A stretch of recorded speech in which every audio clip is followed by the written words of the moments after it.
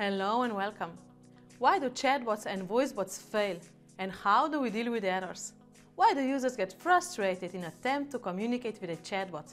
And how can we prevent this and keep our users satisfied?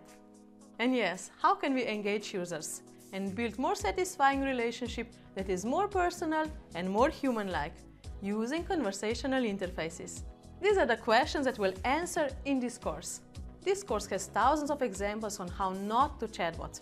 And even more important, even more examples on how to make a conversation with a bot a satisfying experience. I've made an in-depth research, talked to many professionals, and looked at thousands of examples. And one thing is true, knowing the technology on how to build a chatbot is not enough. It's only a start. What you need to know is how to build a great conversational interfaces.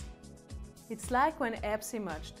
Many people have taken a website and converted it into a mobile app, which was not a good solution. And now people take their frequently asked questions and turn them into a bot, which is a start, I agree. But for a good user experience, you need more.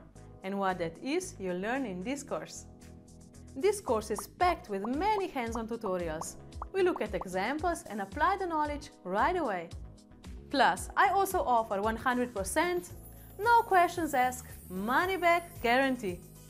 So wait no longer, enroll in the course and start improving your bot right away.